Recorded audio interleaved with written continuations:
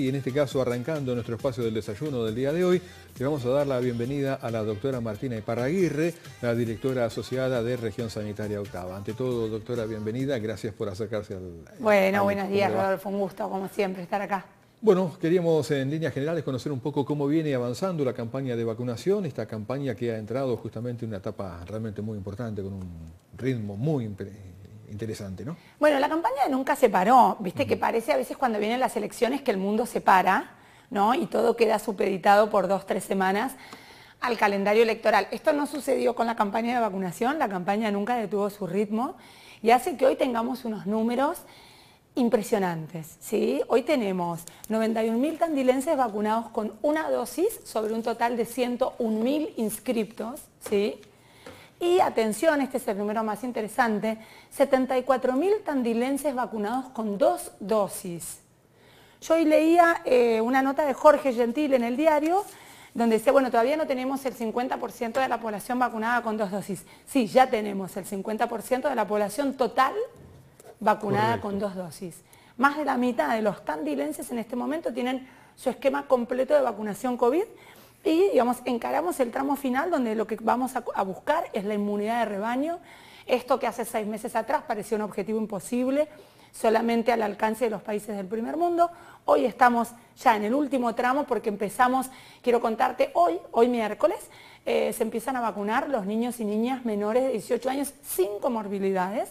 Ya hemos terminado prácticamente el universo de niños y niñas con comorbilidades, recibieron su primera dosis, varios de ellos recibieron su segunda dosis ya, y hoy iniciamos este último tramo donde tenemos aproximadamente 8.000 inscriptos, nos faltan algunos inscriptos de este universo, así que aprovechamos siempre para invitar a los padres y también a los niños y niñas, porque no olvidemos que nuestro Código Civil dice que a partir de los 13 años se ejerce algo que se llama autonomía progresiva y ellos pueden ejercer la mayoría de los actos de salud solos, sin autorización de sus padres.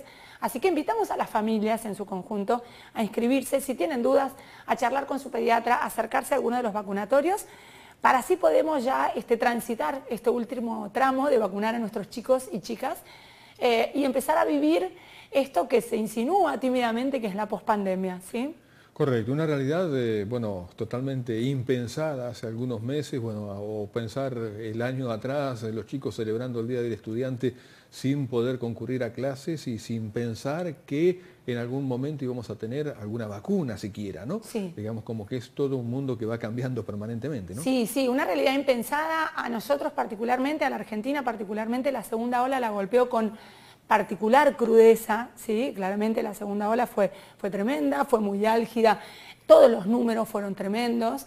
Em, la verdad que era impensado, la segunda ola terminó hace no mucho, eh, era impensado que tres, cuatro meses más tarde íbamos a estar en esta situación, se conjugaron varias cosas, em, algunas cuestiones más de, de, índole, si se quiere, ecológica, ¿sí? como es la posibilidad que tiene esta tan temida cepa delta, de circular en algunos lugares más que en otros y ni hablar el tiempo que fuimos ganando que nos llevó a tener un enorme porcentaje de población vacunada. Esto de ninguna manera es este, haber adquirido una especie de, inmunidad diplomática que nos permita transitar libremente. Sí lo que nos da es la tranquilidad de ver qué sucedió en aquellos países donde la cepa delta empezó a circular con la mayoría de su población vacunada. El caso que miramos siempre es Inglaterra. ¿Qué sucedió en Inglaterra? La cepa delta es como una inundación, ¿sí? pasa de cero a millones, no, es gradual en absoluto. explosiva. Sí, es muy explosiva. Entonces, ¿qué pasó en Inglaterra? Hubo un aumento explosivo de casos, pero lo que no hubo fue un aumento de internaciones y mucho menos de mortalidad. ¿sí? Entonces, en el peor de los escenarios, ¿qué esperamos? Algo similar a Inglaterra. ¿Sí? En el peor de los escenarios. En el mejor de los escenarios esperamos que la cepa delta no tenga necesariamente el mismo comportamiento que tuvo en Inglaterra.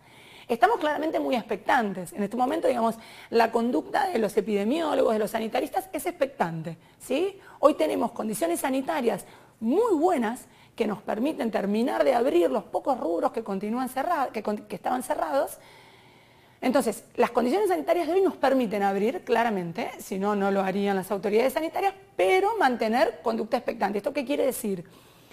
Que simultáneamente con la apertura va a haber una vigilancia ¿sí? muy rigurosa del aumento de los casos para ver en qué momento es necesario cerrar. conducta similar a la que han tomado otros sistemas en el mundo, como por ejemplo Israel, es un país que a pesar de haber sido de los primeros que empiezan con la campaña de vacunación y esa campaña de vacunación tan exitosa que todos mirábamos, sin embargo Israel, luego de su campaña de vacunación, tuvo cierres y aperturas en más de una ocasión.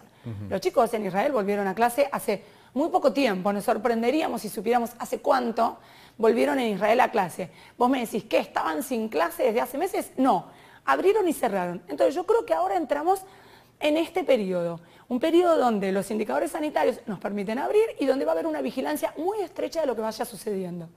Correcto, y también seguramente habrá que apelar a la responsabilidad individual, no es, eh, bueno, porque podamos hacer determinada tarea, suponer que esto desapareció y que podemos vivir como vivíamos antes. Hay muchas cosas que evidentemente tenemos que, bueno, eh, costumbres o hábitos que han llegado para, para, quedarse, digamos. No podemos compartir hoy en día un mate por más que tengamos una inmunidad, ¿no?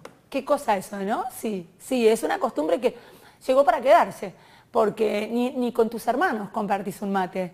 Eh, ya es habitual ir a la casa de tus hermanos con su mate, ¿sí? O es habitual que los que teníamos un solo mate, ahora tenemos cuatro, ¿no? Para entregarle a los amigos o a la familia que viene, eso definitivamente es una costumbre que llegó para quedarse. Y yo ayer miraba, viste que ayer se anunció muy temprano el, fin del uso del barbijo, por lo menos en espacios al aire libre. Y cuando iba a llevar a mis hijas al colegio pensaba, bueno, a ver, ¿con qué situación me encontraré? Y la verdad que me animo a decirte que más del 90% de las mamás y papás que estaban ahí estaban con su barbijo puesto. ¿sí? Em, creo que nos va a costar un poco desprendernos del barbijo, nos, había, nos daba mucha seguridad. Bueno, será gradual, entonces a medida que vayamos pudiendo y en la medida en la que vayamos viendo que los indicadores sanitarios se vayan manteniendo, iremos lentamente desprendiéndonos de muchas de estas, de estas costumbres, sobre todo de las que podamos desprendernos, ¿no es cierto? Bien, y esta realidad evidentemente tiene que ver con la vacunación, una vacunación que, como usted decía, se ha realizado sin pausa. Eh, nos daba algunos números, 101.000 inscriptos aquí en la ciudad de Tandil. El resto de las personas que faltan para completar la totalidad de la ciudad, eh, ¿cómo estarían discriminadas? ¿Cuántos serían, digamos, menores de 12 años? ¿Cuántos serían, bueno, gente que no quiere vacunarse? ¿Hay algún cálculo al respecto? Bien, a ver, nosotros hacemos un cálculo sobre un padrón electoral actualizado, eh, lo hacíamos hasta hace unos meses sobre el padrón de 107.000, ahora nuestro padrón es de 112.000, ¿sí? Este padrón es de 16 años para arriba, nosotros le tenemos que sumar una franja que es de 12 a 16 años que no están calculadas en ese padrón. Asumimos aproximadamente que se nos va el número casi hasta 120.000 personas, ¿sí? Entonces, sobre un número hipotético de 118.000, 120.000 personas aproximadamente, Hoy tenemos 101.000 inscriptos, el porcentaje es más que óptimo, ¿sí? Hay un porcentaje de la población que no se va a inscribir, sí, vamos a hacer muchísimo hincapié en que los jóvenes se inscriban, ¿sí? Vamos a hacer muchísimo hincapié en esa franja, porque consideramos que es una franja más permeable, eh, consideramos que, los jóvenes tienen una mirada del mundo este, muy colectiva, muy colaboradora, y que muchos jóvenes entienden esto, ¿no? Que ellos se tienen que vacunar por Tandil, por su comunidad. No tiene que ver tanto con una cuestión personal. Viste que a medida que crecemos nos volvemos, vamos perdiendo algunas cosas muy interesantes de la juventud, de la infancia y de la juventud. Nos volvemos un poquito más individualistas, ¿no? Más áridos en algunos aspectos. Bueno, los jóvenes no, los jóvenes son más permeables, son más sensibles. Entonces apuntamos puntualmente a tratar de captar, ¿sí? toda la franja de niños y niñas este, entre 12 y 17 años, porque además es una franja que tiene una enorme movilidad, ¿sí? y que si bien, como ha mostrado la estadística, cuando desarrollan la enfermedad, la desarrollan de manera muy leve, son grandes transmisores de la patología por su, por su manera de, moverse, ¿sí? Así que bueno, esperamos subir hasta 105.000, 106.000 por lo menos. Va a haber una franja que va a quedar afuera, hay un, porcentaje de adultos que ha decidido no vacunarse, ¿sí? Eh, el otro día me preguntaban en un medio, ¿qué le dirías? no, la verdad que a los adultos que han decidido no vacunarse a esta altura tenemos poco para decirles, ¿sí? Entendemos que, el movimiento antivacunas en términos generales este, no, no, se lleva bien con los argumentos de tipo cartesiano y científicos, entonces creo que tiene que ver más con lo dogmático, entonces desde la ciencia nos resulta bastante dificultoso este, dialogar este, con el dogma, ¿no es cierto? Eh, no pasa lo mismo con los jóvenes. Me parece que con los jóvenes tenemos mucho para charlar eh, de hecho, te cuento que hace aproximadamente un mes y medio empezamos un ciclo de charlas en todas las secundarias de la ciudad, cuarto, quinto y sexto. Es muy interesante, son súper lindas las charlas. Ellos tienen una necesidad de saber, una necesidad de charlar y de contar qué fue lo que les pasó, porque muy pocos les preguntaron a ellos qué les había pasado en este tiempo de pandemia. ¿sí? Se le preguntó más a los padres, a las madres, a los padres que estábamos desesperados por tener a los chicos adentro, pero se les preguntó poco a ellos. Tienen muchas ganas de hablar. Te cuento que, por ejemplo, este viernes tenemos un encuentro al aire libre con la secundaria de Villa Son 100 chicos de cuarto, quinto y sexto que vamos a participar toda la mañana en talleres de vacunación, talleres de actividad física y bueno, y talleres de salud sexual y procreación responsable. Vamos a aprovechar para inscribirlos y para que ellos nos cuenten, ¿sí? Y poder charlar con ellos. En, ese, en esa franja etaria sí apuntamos a lograr la mayor inscripción posible y luego la mayor vacunación posible. Correcto, estamos eh, conversando con la doctora Martínez Parraguirre, compartiendo el desayuno del día de hoy. Le pedimos si se puede quedar unos minutitos más, hacemos una pausa y después en el próximo bloque continuamos conversando aquí en Tandil Despierta. Continuamos el desayuno del día de hoy con la doctora Martina Parraguirre. Bueno, recién estábamos conversando lo que tiene que ver en la pausa, bueno, la importancia de tener conciencia, de saber que la vacunación para los mayores de 18 años es libre uno se presenta en el vacunatorio y no tiene que esperar turno ni nada, sino que directamente lo vacunan ahí. Exactamente, eso es súper importante, si bien ya digamos, fue anunciado hace aproximadamente dos meses, nunca está de más recordarlo, porque bueno, hay gente que mira poca tele y escucha poca radio. Eh, todos los mayores de 18 años en todo el territorio bonaerense que no hayan recibido su primer dosis se acercan a un vacunatorio, no importa si están o no están inscriptos, ¿sí? Y en ese momento se los vacuna. Esto es importante porque no les va a llegar ya el turno de la primera dosis a los mayores de 18 años. Solo les va a llegar turno de primera dosis a los menores de 18. Entonces, todos los mayores que no se hayan vacunado y se quieran vacunar, acérquense a un vacunatorio. Y a esto le sumamos que todos los mayores de 50 años también pueden hacer lo mismo con respecto a la segunda dosis, ¿sí? Siempre y cuando haya pasado el intervalo interdosis, la ventana correspondiente entre la primera y la segunda. ¿Esto qué quiere decir? ¿Cuál es ese intervalo? Bien, si yo recibí AstraZeneca, tienen que pasar ocho semanas entre la primera y la segunda. Dos meses hablando. Dos meses. Entonces, si yo recibí AstraZeneca el mes pasado, no puedo ir al vacunatorio. O sea, puedo ir, pero cuando chequeen mi situación me van a decir, no, usted no se puede vacunar todavía, ¿sí? Lo mismo para Sputnik, se bajó el intervalo interdosis, que era de 180 días, de 180 a 120 días, se bajó a 60 días, y de 22 días para el caso de Sinopharm, ¿sí? Entonces, todos los mayores de 50 años que hayan recibido alguna de estas vacunas y hayan cumplido su intervalo interdosis, se acercan al vacunatorio en búsqueda de su segunda dosis, porque lo que queremos es terminar lo antes posible y quedar un poco, digamos, con los chicos, ¿no? Con, los niños y niñas. Esto, este fin de la vacunación para los mayores de 18 años está muy cerquita, estimamos que va a suceder entre el 30 de septiembre y los primeros días de octubre. Hacemos esa estimación en función del intervalo interdosis de las últimas primeras dosis colocadas, ¿no es cierto? Entonces, bueno, estimamos que ya a partir de mitad de octubre vamos a estar vacunando adolescentes, o sea que los vacunatorios van a ser más parecidos a un colegio que a otra cosa, lo cual nos entusiasma mucho. Este, vos fíjate que a pesar de tener ya una experiencia de casi 6, 7 meses, el hecho de recibir la Pfizer, están llegando hoy a Tandil, es recibir otras vacunas, vacunas nuevas que requieren otra conservación, otra logística, otra sistemática. Bueno, entonces hay otra vez, que es lindo, ¿no? Hay otra vez un poquito de tensión en los vacunatorios. Están todas las vacunadoras y todos los equipos de logística chequeando, ¿no? De qué manera van a llegar las vacunas, a dónde las tenemos que pasar. Pensá que estas vacunas llegan a menos 90 grados, ¿sí? Llegan con 25 kilos de hielo seco, ¿sí? Lo cual baja la temperatura a menos 90 grados durante 96 horas. Una vez que llegan pueden ser pasadas al freezer, ahí pueden estar dos semanas nada más. Y de ahí pueden ser pasadas a la heladera y pueden estar ahí un mes.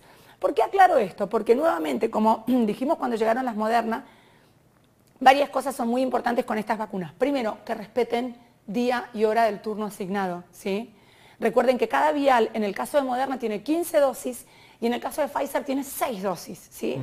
Cada persona que falta, ¿sí? Es una artesanía, es una dosis que se pasa para el turno siguiente. Esto complejiza muchísimo la vacunación. yo no puedo abrir un vial y guardarlo. ¿sí? Una vez que se abre un vial, las 15 o las 6 dosis tienen que ser utilizadas. Entonces es muy importante que los turnos se respeten. Y también es muy importante el tema de la inscripción. No nos van a mandar la cantidad de vacunas que nos mandaban antes.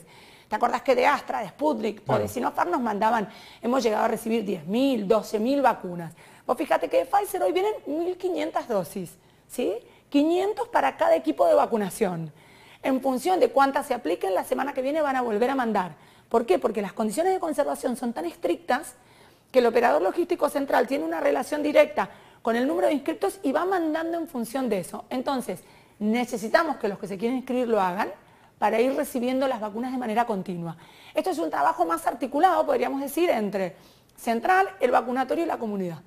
Perfecto, hablamos de inscribirse los chicos de 12, ya con 12 años se pueden inscribir, hasta los 17. Exactamente, de 12 a 17 la única diferencia es que los chicos de 12 a 13 tienen que venir con una declaración jurada firmada de sus papás, si quieren venir acompañados de sus papás también, no así a partir de los 13 años. ¿sí? Vos sabés que a partir de los 13 años nuestro Código Civil habla de autonomía progresiva pueden venir solos. La mayoría vienen con sus mamás, sus papás, abuelos, amigas, porque es un momento muy festivo y casi todos lo hacen acompañados. Muy bien. Doctora Martínez Parraguirre, le agradecemos muchísimo el habernos acompañado aquí en este desayuno. Ha sido usted muy amable. Un placer, como siempre, conversar con ustedes. Muchas gracias. La doctora Martínez Parraguirre entonces ha estado compartiendo este desayuno con nosotros, hablando justamente de la vacunación.